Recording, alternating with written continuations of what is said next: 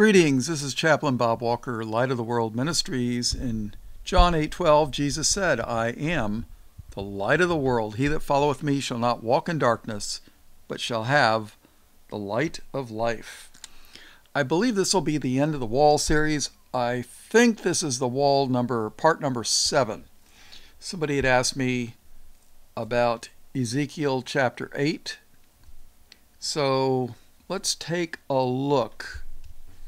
Now, Ezekiel, Isaiah, and Jeremiah are companion books. Uh, they're full of prophecy, but also they're books of rebuke of why the Lord brought destruction upon Jerusalem.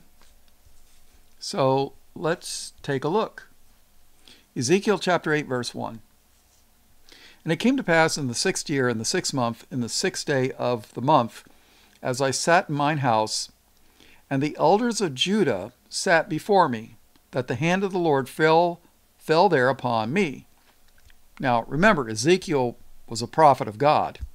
So the elders of Judah came and sat before him. Verse 2 Then I beheld, and lo, a likeness as the appearance of fire, from the appearance of his loins even downward, fire and from his loins even upward as the appearance of brightness as the color of amber. And he put forth the form of an, hand, of an hand and took me by a lock of mine head.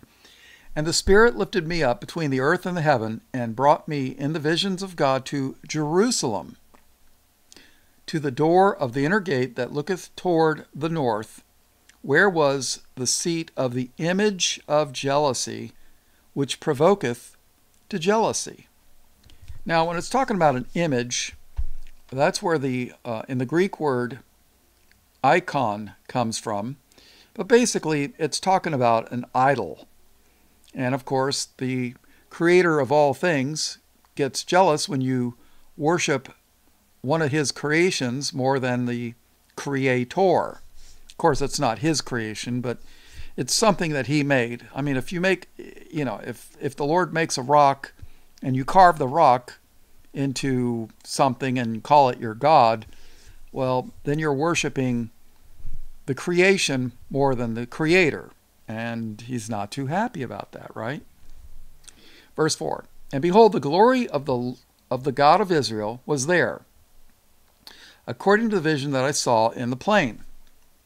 Then said he unto me, Son of man, lift up thine eyes now the way toward the north.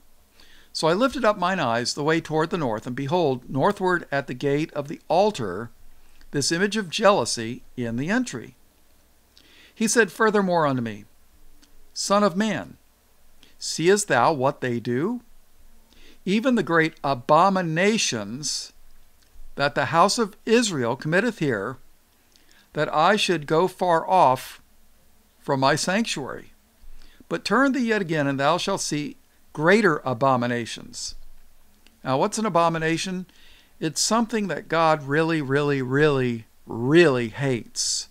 I mean, it's not just sin, it's extra special sin.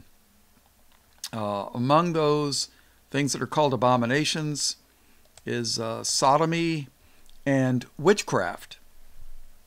So, and he brought me to the door of the court, and when I looked, behold, a hole in the wall. You know, it's interesting. There are a number of sayings that are in the Bible. A hole in the wall being one.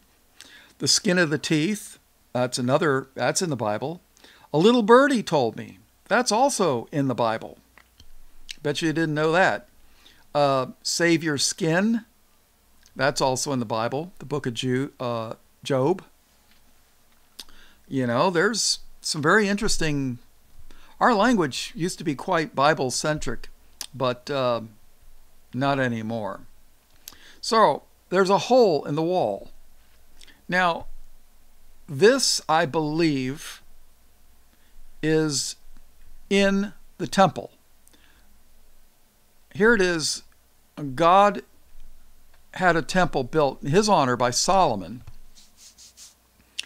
And what are they doing? Why did why did the uh, why did the Lord tell him, you know, look at, you know, there's a hole in the wall? Verse 8 Then said he unto me, Son of man, dig now in the wall. And when I had digged in the wall, behold, a door. And he said unto me, Go in and behold the wicked abominations that they do here.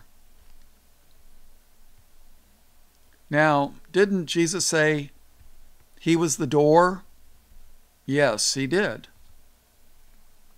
Jesus said, uh, Well, we could take a look.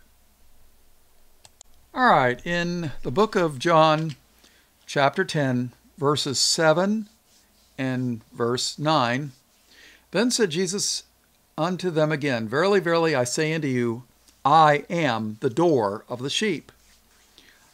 Uh, verse 9 I am the door. By me, if any man enter in, he shall be saved, and shall go in and out and find pasture. In Revelation 3:20 says, Behold, I stand at the door and knock. If any man hear my voice and open the door, I will come into him and will sup with him, and he with me. Verse 4 1. After this I looked, and behold, a door was opened in heaven, and the first voice which I heard was, as it were, of a trumpet talking with me, which said, Come up hither, and I will show thee things which must be hereafter. So but this is not that door. Ezekiel 8 8. Then said he unto me, Son of man, dig now in the wall. And when I had digged in the wall, behold, a door. And he said unto me, Go in and behold the wicked abominations that they do here. So here it is God's holy temple that they had built and dedicated to him but yet they were doing other things that were extremely displeasing to him. All right, so, and he said unto me, Go in and behold the wicked abominations that they do here. So I went in and saw, and behold, every form of creeping things, and abominable, abominable beasts, and all the idols of the house of Israel portrayed upon the wall round about. And there stood before them seventy men of the ancients of the house of Israel. Now, people, this is the Sanhedrin. I, my, I believe it's the Sanhedrin. The, um, I guess you could call them the Supreme Court. Uh, according to legend, Moses created the first Sanhedrin. He took a group of people and you know, they were to be the judges and ruler, well, the religious rulers. All right. So these were supposed to be the the whole the, the best of the best in Israel. And there stood before them seventy men of the ancients of the house of Israel. And in the midst of them stood Jaazaniah the son of Shaphan, with every man his censer in his hand, and a thick cloud of incense went up.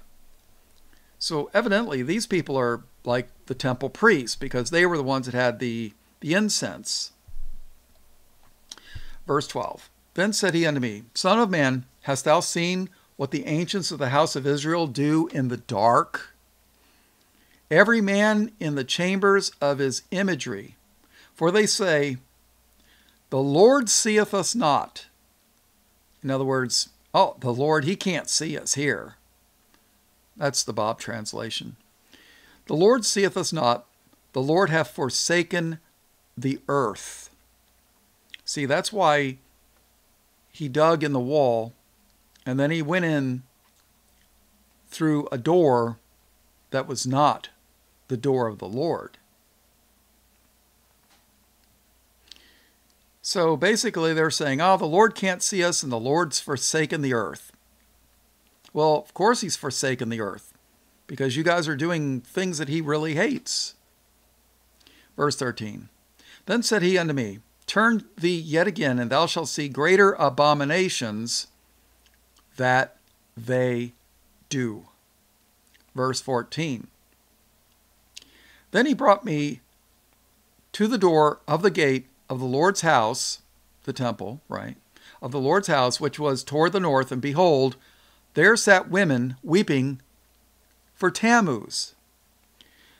Now, Tammuz was just uh, a name of one, uh, the son of, depending upon what legend, either the Queen of Heaven or uh, the Queen, an earthly queen. She goes by many different names Semiramis, Ishtar, Easter. You didn't know Easter was the name of a goddess or a queen? Oh yeah. It's a it's a name. It's not just a holiday. It's, you know, uh, the Jews often called her Lilith. Of course, there's a lot of legends about Lilith. Uh, what was some of the other ones? Well, you get the idea, right? Tammuz was her son, and some of the devil's people will try to make a connection between Christ and Tammuz. I don't think so. Supposedly, he was killed by a pig, and then he ascended up to heaven to be with his father Baal or Baal, depending upon how you pronounce it. Uh, and that's supposed to represent the resurrection of Christ. So think about it. That's what Easter represents uh, bunny rabbits, Easter eggs, ham dinner. That's why they ate ham on that day because supposedly he was out hunting for wild boars and a wild boar killed him. Uh, you know, let me tell you a little story. About 20 or so years ago, there was a tornado on Easter morning during a church service I believe it was in Joplin, Missouri. It was in Missouri, but I just don't remember which. I think it was Joplin. A tornado on Easter Sunday morning. It hit a church, killed some people, destroyed at least part of the church. And people were asking, why did God let this happen? Now, I don't remember what denomination of church it was. I believe it was the United Methodist Church, but I could be wrong. But uh, if it wasn't the UMC, it was one of those churches that would uh, do gay and sodom, lesbian marriages, sodomite marriages, and lesbians, would have lesbian pastors, women pastors, okay? Uh, women are great for teaching Sunday school. I totally believe that. But uh, they were ordaining lesbian pastors, okay, which is two strikes.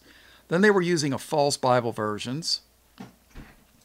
And then they were doing Easter, which is a satanic holiday, which they've been trying to Christianize, but you can't Christianize a satanic holiday. So why did God let a, a, a tornado wipe out this church on the satanic holiday? Uh, well, the people were asking, why did God let this happen? Well, you don't know. Uh, you know, it just exposes their total ignorance. A lesbian, probably, possibly a lesbian pastor, female pastor, a woman pastor, for one thing, unbiblical, false Bible versions, part of a denomination that does sodomite marriage, and then they're they're supposedly worshiping the God of the Bible on Easter. You know, these churches that do this Easter stuff with bunny rabbits and Easter egg hunts, I mean, you know, let's face it, when you come to the Lord, you got to come His way, His terms, His conditions.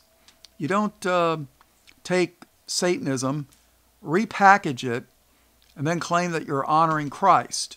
I mean, it's just it just doesn't work, people.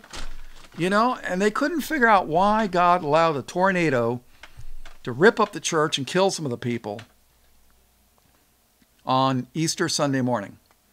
Oh, well, we were we were honoring we are honoring Jesus. Well, I don't think so. Where in the Bible does it say uh, Easter, uh, worship on Easter, and eat a ham dinner? I mean, but Tammuz was the son of Easter, the, go- the goddess. I mean, look it up if you want to. It's T A M M U Z. Women were weeping for Tammuz. Why? Because he was killed by the boar. So let's celebrate by having ham dinner on Easter with bunny rabbits and Easter egg hunts. Yeah, that really that really honors Christ. How about how about the Lord's Supper? What about that?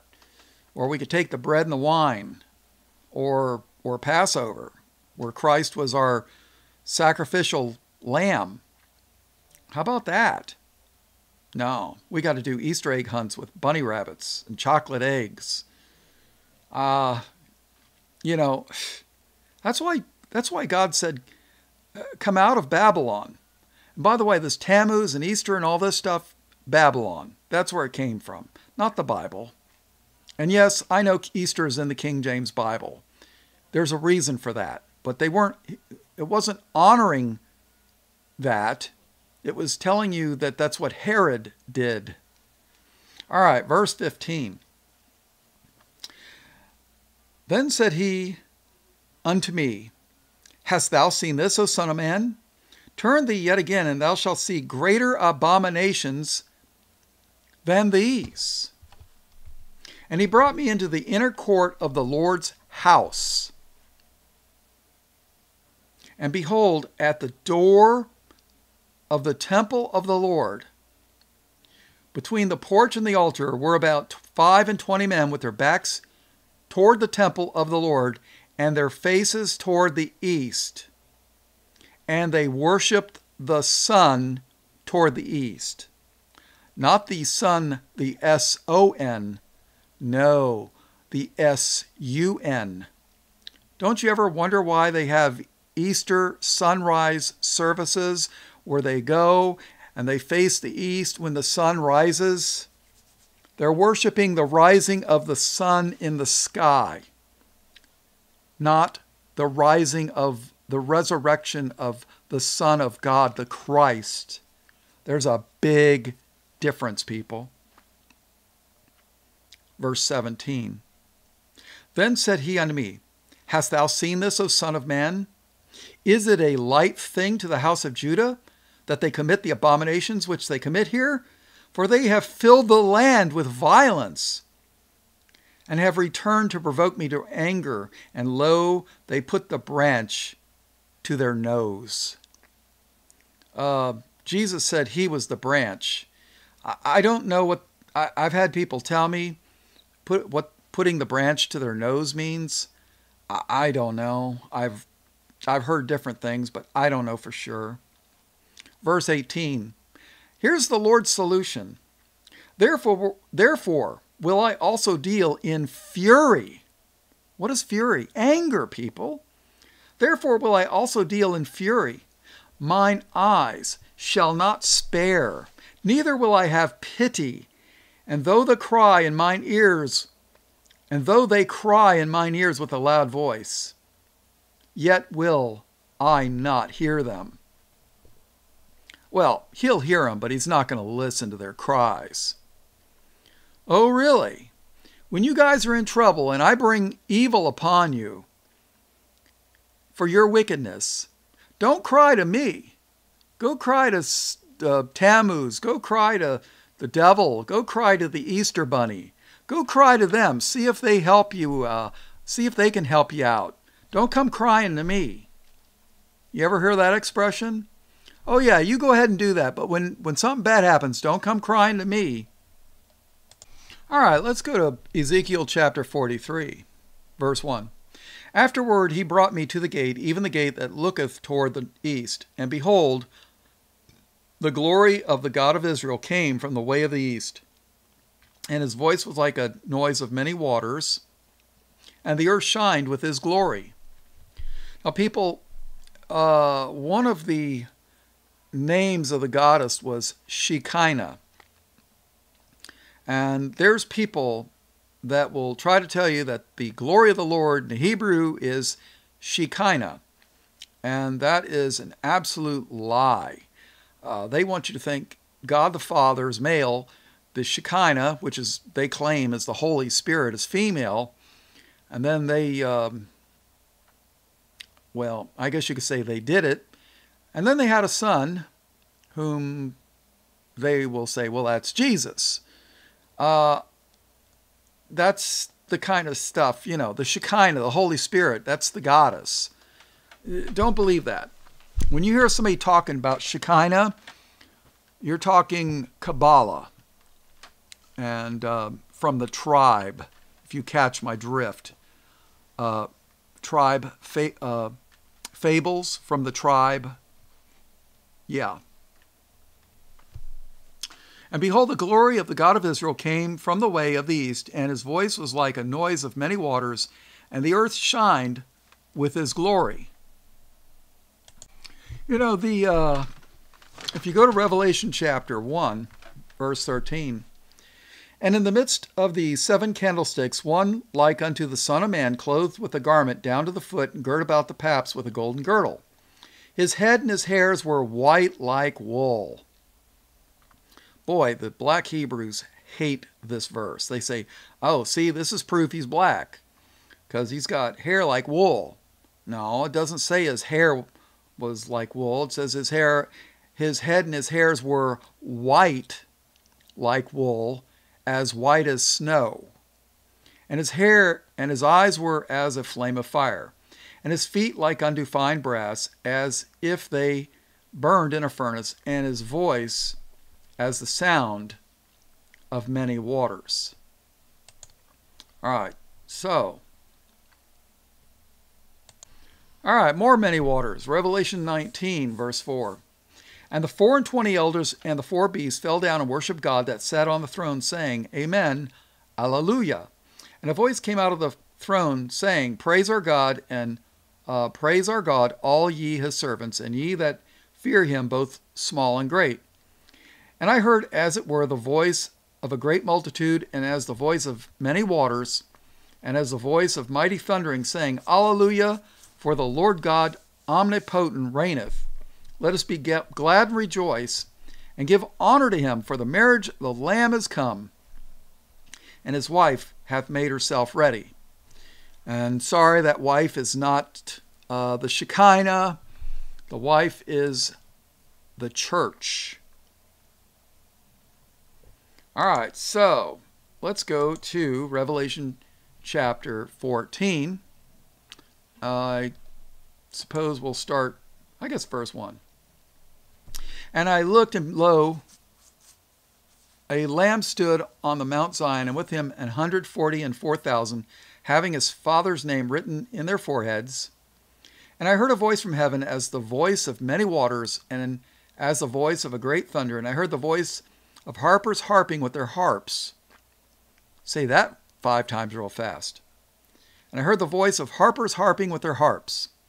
And they sung, as it were, a new song before the throne and before the four beasts and the elders. And no man could learn that song but the hundred and forty and four thousand which were redeemed from the earth. All right, let's go back to Ezekiel 43, verse 3. And it was according to the appearance of the vision which I saw, even according to the vision that I saw when I came to destroy the city, and the visions were like the vision that I saw by the river Chebar, and I fell upon my face. And the glory of the Lord came into the house by the way of the gate, whose prospect is toward the east. So the Spirit took me up and brought me into the inner court. It's talking about the inner court, it's talking about the temple, right? And behold, the glory of the Lord filled the house. And I heard him speaking unto me out of the house, and the man stood by me. And he said unto me, Son of man, the place of my throne, and the place of the soles of, I, of my feet, where I will dwell in the midst of the children of Israel forever, and my holy name shall the house of Israel no more defile, neither they nor their kings by their whoredom, nor by the carcasses of their kings in their high places, in their setting of their threshold by my thresholds, and their post by my posts. And the wall between me and them, they have even defiled my holy name by their abominations that they have committed. Wherefore I have consumed them in mine anger. Now let us uh, now let them put away their whoredom and the carcasses of their kings far from me, and I will dwell in the midst of them forever. Thou son of man, show the house to the house of Israel, that they may be ashamed of their iniquities, and let them measure the pattern. And if they be ashamed of all that they have done, show them the form of the house, and the fashion thereof, and the goings out thereof, and the comings in thereof, and all the forms thereof, and all the ordinances thereof, and all the forms thereof, and all the laws thereof, and write it in their sight, that they may keep the whole form thereof, and all the ordinances thereof, and do them. This is the law of the house. Upon the top of the house, the whole limit thereof round about shall be most holy. Behold, this is the law of the house. And these are the measures of the altar after the cubits. Now, a cubit was uh, approximately from the tip of your fingers to the elbow. It's approximately 18 inches or a half, one half a meter. The cubit is a, cu- is a cubit and a handbreadth. Even the bottom shall be a cubit, and the breadth a cubit, and the border thereof by the edge thereof round about shall be a span. And this shall be the higher place of the altar. And from the bottom upon the ground, even to the lower settle, shall be two cubits, and the breadth one cubit. From the lesser, uh, lesser settle even to the greater settle shall be four cubits, and the breadth one cubit. So the altar shall be four cubits, and from the altar upward shall be four horns. And the altar shall be four cubits long, twelve broad, square in the four squares thereof. And the settle shall be fourteen cubits long and fourteen broad in the four squares thereof, and the border about it shall be half a cubit, and the bottom thereof shall be a cubit about, and his stair shall look toward the east. And he said unto me, Son of man, thus saith the Lord God, These are the ordinances of the altar in the day when they shall make it to burnt uh, to offer burnt offerings thereof, and to sprinkle the blood thereon. Isn't that what Christ did? Shed his blood? And thou shalt give to the priests, the Levites, that be of the seed of Zadok, which approach unto me, a minister unto me, saith the Lord God, a young bullock for a sin offering. And thou shalt take of the blood thereof, and put it on the four horns of it, and on the four corners of the settle, and upon the border round about it. Thus shalt, shalt thou cleanse and purge it. Isn't that what the blood of Christ was due? cleanse us and purge us from sin. Verse 21 Thou shalt take the bullock also of the sin offering, and he shall burn it in the appointed place of the house without the sanctuary. And on the second day thou shalt offer a kid of the goats without blemish for a sin offering, and they shall cleanse the altar as they did cleanse it with the bullock.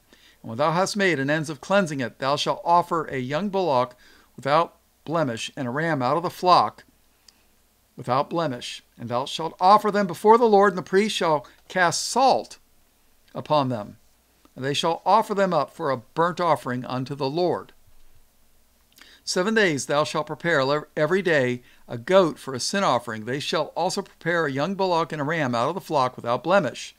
Seven days shall they purge the altar and purify it, and they shall consecrate themselves and when these days are expired, it shall be that upon the eighth day and so forward, the priest shall make your burnt offerings upon the altar and your peace offerings, and I will accept you, saith the Lord God. All right, let's read Zechariah chapter 2. Now, would you uh, rather believe in the Lord Jesus Christ and be saved, or would you rather get bulls and goats and bullocks and lambs and uh, take their blood and sprinkle it on the altar and burnt offerings. Seems like a lot of work, doesn't it? That's why in the book of Hebrews it was you know, showing you that the New Testament was so much better than the Old. Let's take a look at Zechariah chapter 2. I lifted up mine eyes again and looked, and behold, a man with a measuring line in his hand. Then said I, Whither goest thou? And he said unto me, The measure Jerusalem to see what is the breadth thereof and what is the length thereof.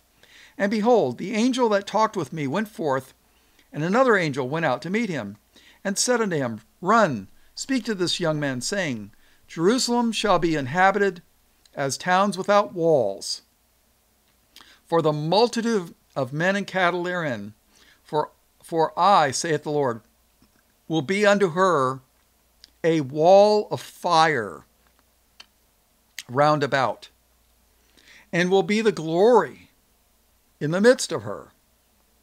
Ho, ho, come forth. And no, that's not Santa Claus going ho, ho, ho. No. Ho, ho, come forth and flee from the land of the north People, take a map out, look at Jerusalem, and what land is north? Europe. Europe is, people. Ho, ho, come forth and flee from the land of the north, saith the Lord, for I have spread you abroad as the four winds of the heaven, saith the Lord. Deliver thyself, O Zion, that dwelleth with the daughter of Babylon. See, right now, we dwell with the daughter of Babylon. There is so much stuff in the church that comes out of Babylon and not the Bible. And people don't bother to read the Bible, so they don't even know this stuff. I mean, pfft. verse 8 For thus saith the Lord of hosts, After the glory hath he sent me unto the nations, which spoiled you. For he that toucheth you toucheth the apple of his eye another one of those famous Bible sayings, you know, the apple of his eye. For behold, I will shake mine hand upon them, and they shall be a spoil to their servants, and ye shall know that the Lord of hosts hath sent me. Sing and rejoice, O daughter of Zion, for lo, I come, and will dwell in the midst of thee, saith the Lord. And many nations shall be joined to the Lord in that day, and shall be my people and I will dwell in the midst of thee, and thou shalt know that the Lord of hosts hath sent me unto thee. And the Lord shall inherit Judah his portion in the Holy Land, and shall choose Jerusalem again. Be silent, O all flesh, before the Lord, for he is raised up out of his holy habitation. All right, we're getting ready to close out here. Revelation chapter 21 people i've read the last uh, the last chapters of the book we win. Revelation 21 1 and i saw a new heaven and a new earth for the first heaven and the first earth were passed away and there was no more sea. And i john saw the holy city new jerusalem not this filth that's over there now new that's why there's going to be a new Jerusalem, because the old Jerusalem's polluted, people. And I, and I, John, saw the holy city, New Jerusalem, coming down from God out of heaven, prepared as a bride adorned for her husband. And I heard a great voice out of heaven saying, Behold, the tabernacle of God is with men, and he will dwell with them, and they shall be his people, and God himself shall be with them, and be their God and God shall wipe away all tears from their eyes, and there shall be no more death, neither sorrow nor crying, neither shall there be any more pain, for the former things are passed away. And he that sat upon the throne said, Behold, I make all things new. And he said unto me, Write, for these words are true and faithful. And he said unto me, It is done. I am Alpha and Omega, the beginning and the end. I will give unto him that is athirst of the fountain of the water of life freely. He that overcometh shall inherit all things, and I will be his God, and he shall be my son. But the fearful and unbelieving and the abominable, and murderers, and whoremongers, and sorcerers, and idolaters, and all liars shall have their part in the lake which burneth with fire and brimstone, which is the second death. And there came unto me one of the of the seven angels which had the seven vials full of the last seven plagues, and talked with me, saying, Come hither, I will show thee the bride, the Lamb's wife.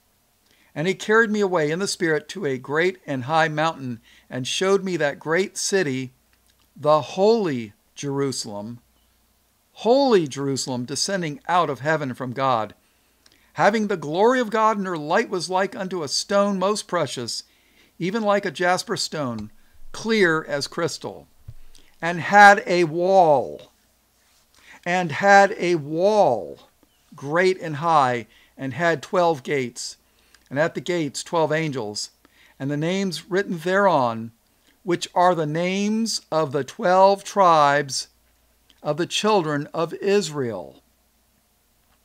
People, my Bob's note here. There is no 13th Gentile, non Jew, non Israel gate. Unless you're one of the 12 tribes of Israel, you ain't getting in this place. Uh, that's it.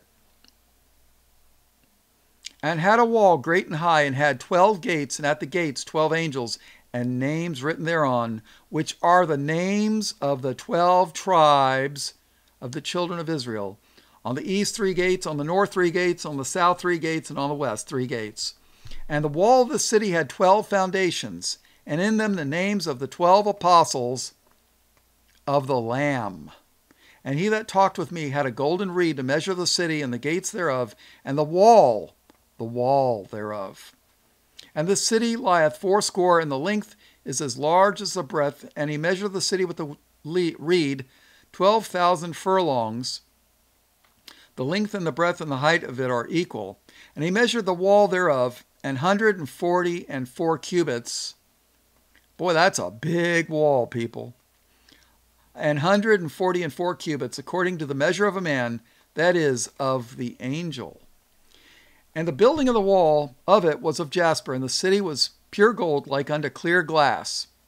And the foundations of the wall of the city were garnished with all manner of precious stones. The first foundation was jasper, the second sapphire, the third a chalcedony, the fourth an emerald, the fifth sardonyx, the sixth sardius, the seventh chrysolite, the eighth beryl, the ninth topaz, the tenth chrysoprasius. Mm, forgive my pronunciation. I, I didn't take um, geology in college. The eleventh, a jacinth, the twelfth, an amethyst. And the twelve gates were twelve pearls. Every several gate was of one pearl, and the street of the city was pure gold, as it were, transparent glass.